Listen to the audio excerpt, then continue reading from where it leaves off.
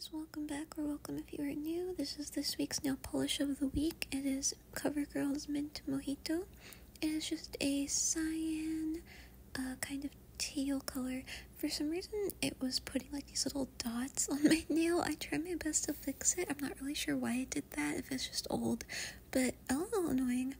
Other than that, the formula is good and is a super pretty color. For some reason, I was having like a bit of trouble getting it on, if you guys can tell. This is actually a sped up video because I felt like I had to take so much time and care to get this on my nails, and it wasn't uh, leveling very smoothly at all.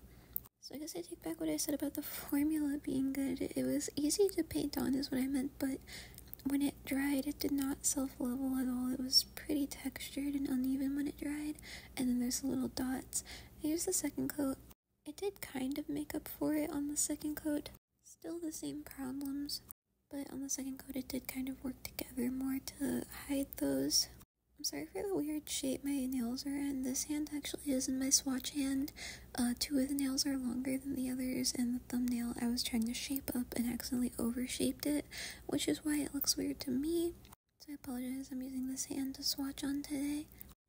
But yeah, I, uh, bit of a difficult polish. I might try to use some nail thinner, hopefully, but I don't think it's thickness that's the problem here. I think there's just like dry bits of nail polish in there for some reason. But I'll try to see if I can salvage this because it is a pretty color, but the formula is just kind of odd. And here I'm going with the Orly Glosser top coat. And the top coat did save the day. It kind of masked over all the texture. The brush though is still pretty small for me. It makes it pretty hard to get an even uh, dispense of the top coat. Kind of a rough manicure day, not gonna lie. I also kept like bumping my nails in between takes too. It was really irritating. But we pushed through and the end result is kind of pretty, I guess.